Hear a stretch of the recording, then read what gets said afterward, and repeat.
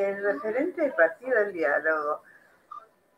Yo, pero están dentro de Cambiemos, ¿no? Porque eso creo que es lo que escuché decir a Emilio Monzó ahí en, televisión los otros días. Sí, claro. Sí, sí. Emilio Monzó eh, siempre participó dentro del Frente Cambiemos o Juntos por el Cambio luego eh, con el Partido del Diálogo. Lo que pasa es que estaba constituido eh, a nivel provincial y ahora ya está constituido en más de la mitad de toda la provincia de Buenos Aires, en todos los distritos, y se están conformando en otros lugares también la Junta Promotora. Así que estamos eh, diversificando en toda la provincia. ¿Cómo hacen en la pandemia? ¿O van tirando Zoom como hacen todo el mundo?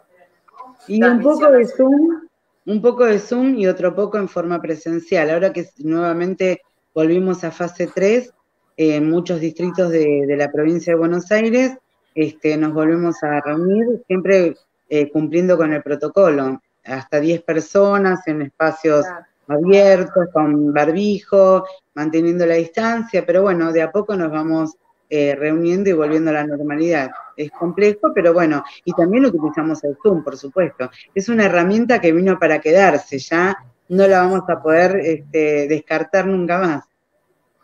Es verdad, Miriam.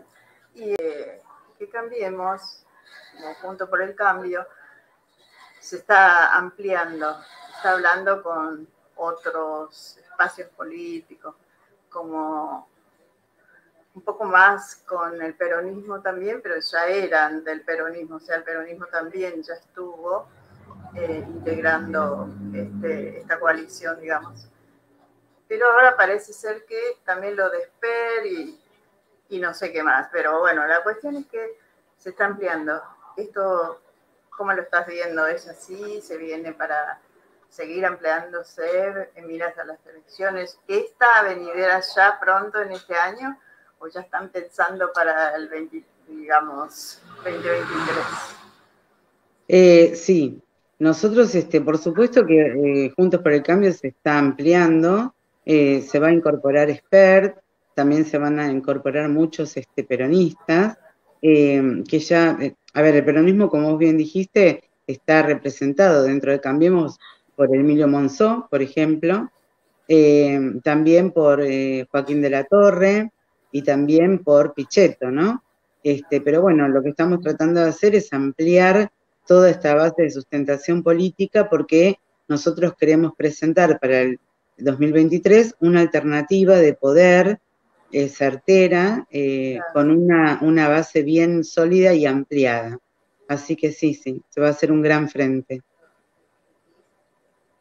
Miriam, eh, acá vos sos el referente de este partido del diálogo en Almirante Brown, ¿cómo, te está yendo? ¿Cómo se está perfilando esto, este nuevo espacio, ¿no? Para, nosotros lo que conocemos poco todavía de cómo están transitando, ¿no? Eh, eh, con Emilio Monzó.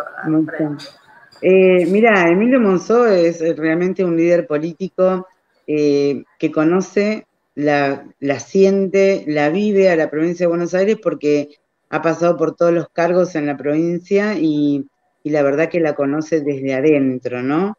Eh, y bueno, y la verdad que nos va muy bien porque Emilio es una persona que permanentemente está tratando de armar siempre un espacio político sólido. Y bueno, y la verdad que nos acompaña un montón. Y aquí en Almirante Brown también, nosotros estamos hablando con la gente de los libertarios, estamos hablando con eh, el Partido Celeste eh, y con todos los que tengan ganas de integrar un gran frente opositor para hacer también una alternativa de gobierno en Almirante Brown.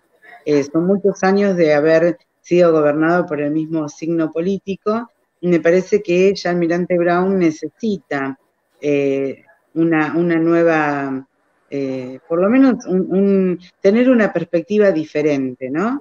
Desde, otro lugar. Y me parece que podemos hacer muchísima fuerza este año y en el 2023 me parece que vamos a hacer una alternativa seria de gobierno en Almirante Brown.